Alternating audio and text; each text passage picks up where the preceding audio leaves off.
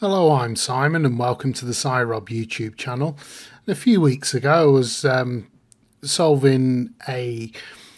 It wasn't really a starting issue, but it was a, a running issue, which generally happened um, from cold, and um, it would then clear itself on restart. It was kind of lumpy running, um, and then you know you may go an entire journey absolutely fine and then other times it um, it would perform like a pig. So uh, this was on a 2008 Volvo V70 D5 um, but the same principle with throttle bodies really um, applies to any other car really um, which has a an electronic throttle body just like this, whether it be a petrol or a diesel.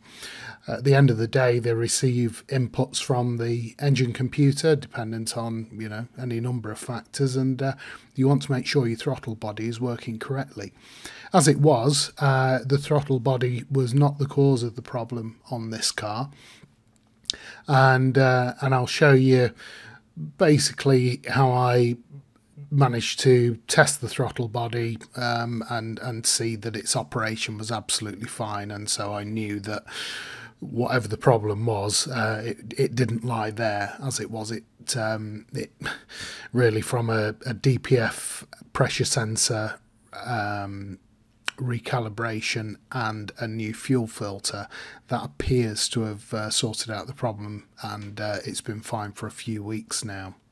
So I'm just getting access um, to the throttle body housing and we've got this main pipe which um, comes from I think this, if I remember right from memory, this is direct then from the intercooler and uh, then goes into the into the throttle body and uh, onwards into the engine. And so the the throttle is basically a flap which uh, opens and closes at various degrees. When it's fully closed, the um, you know it can shut the engine off because it doesn't allow airflow. You can remove the whole body if you want. There's actually four bolts on this particular one holding it to the engine, um, which are being indicated. One's just slightly out of sight just there and if you look at it um, yeah it's just basically this this disc. And so you've got wide open throttle which is the position it would be there fully closed would switch the engine off and then somewhere in between uh, dependent on need.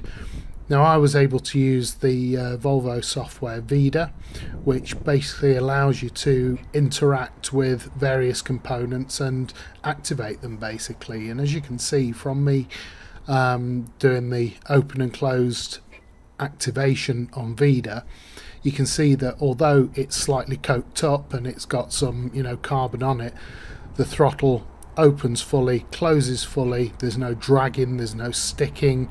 It doesn't you know stop halfway. It's a very nice snappy action. And it really was that simple. Now, of course, cleaning cleaning it up with carb cleaner is good preventative, um, and that will be that will happen in the future. But there's certainly no issue with this throttle body right now, and uh, so I was able to eliminate that and move on to the next thing. So yeah, if uh, you suspect your throttle body and you have uh, diagnostics to move it, then uh, this is a great way of uh, just doing a visual inspection and making sure everything's working as you expect.